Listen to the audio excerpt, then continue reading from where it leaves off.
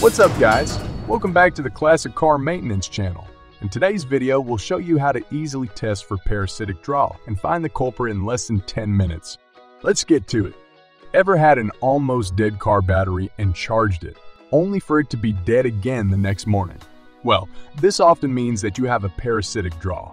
A parasitic draw is a small electric current drain that happens after the ignition is switched off. This is usually caused by a bad ground or an electrical component still being active and using power, causing your car battery to drain overnight.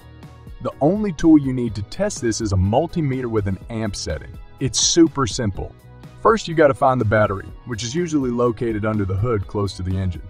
Then you need to make sure all the electronics are turned off and all the doors are closed, so there are no interior lights draining power from the battery giving a false reading. If you have a hood light, you need to manually unplug it so it doesn't light up and use power when you pop the hood open.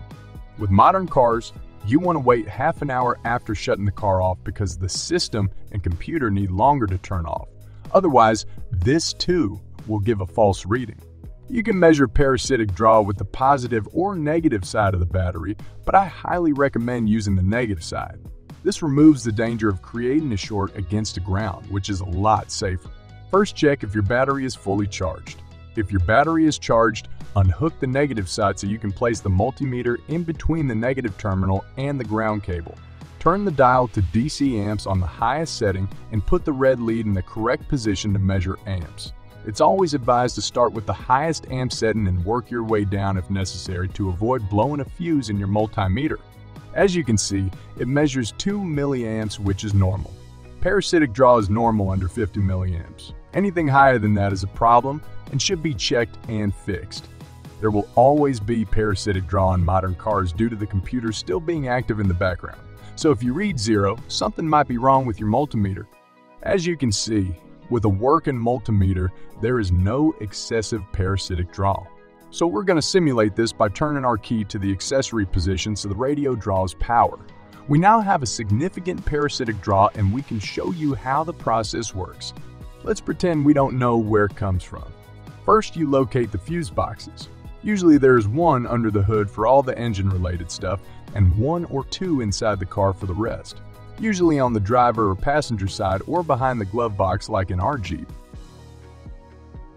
A trick that I like to use is to clamp the leads to the battery post and cable. This way, you can place the multimeter against the windshield and read the parasitic draw while pulling out fuses. You don't need to have a helping hand read the multimeter or walk back and forth yourself the entire time. What you do next is very simple.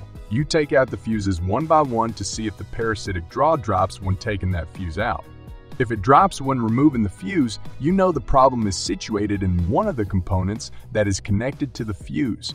As you can see, nothing happened when taking out this fuse. When placing it back, make sure it is all the way in there. You repeat this process until the parasitic draw drops when pulling out that fuse.